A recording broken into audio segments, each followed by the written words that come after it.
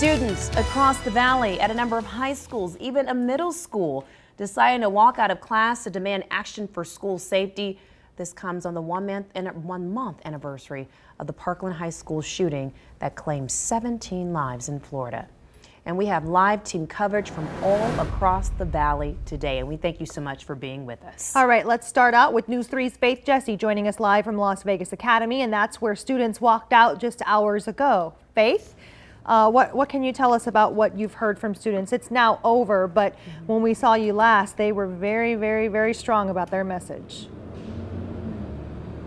Good afternoon to you, Michelle. Students here very passionate and very serious about their message. Hundreds of, hundreds of them walked out of the school, stood on the steps behind me, uh, and they were doing it in honor of those 17 students shot and killed in Parkland, Florida, and all of the students who have fell victim to gun violence before them.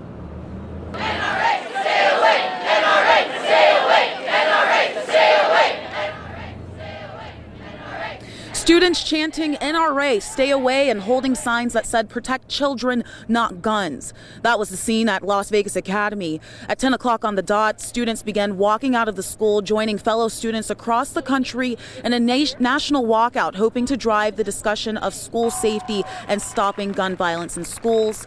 Today, LVA students held a rally on the front steps of their magnet school. Students were asked to wear maroon, silver, and black, the colors of Marjory Stoneman Douglas High School in Parkland, Florida.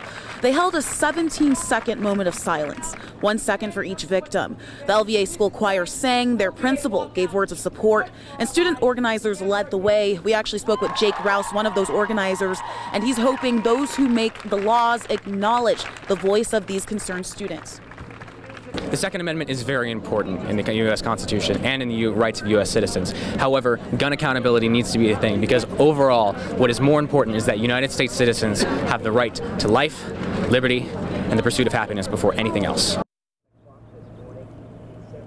The school principal joined those students on the steps and he was expressing that uh, he agrees with the majority of students. They need to have more protection, gates, more security. But he was uneasy about the idea of arming teachers. These students standing uh, in support of those students that were victims in Parkland, Florida, some of them actually made their way inside and gave more speeches on their courtyard those students demanding change, and they say they want change now.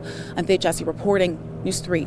Yeah, Faith, great reporting out there. Really some powerful images that we were seeing coming out of the high schools and the middle schools. And as we mentioned earlier, they were